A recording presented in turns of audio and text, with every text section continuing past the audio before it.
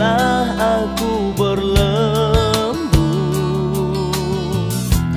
Mulalah engkau mencari. Bertanya di sana sih.